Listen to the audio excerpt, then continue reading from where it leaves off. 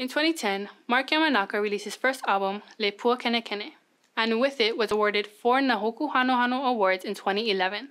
Since then, his amazing voice and multiple albums have given him 10 more of these prestigious awards.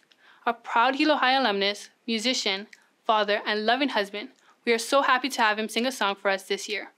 From his very first album, Mark sings the song Kāua Hilo One, in honor of his own hometown of Hilo.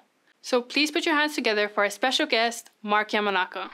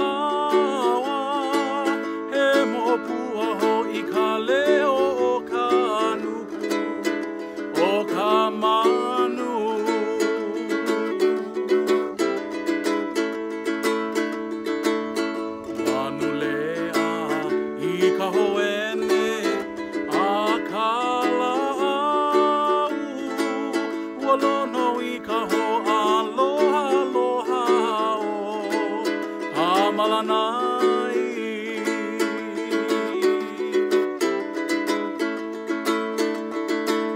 Makani pūmia me ke ala Hi ala ai o pio pio.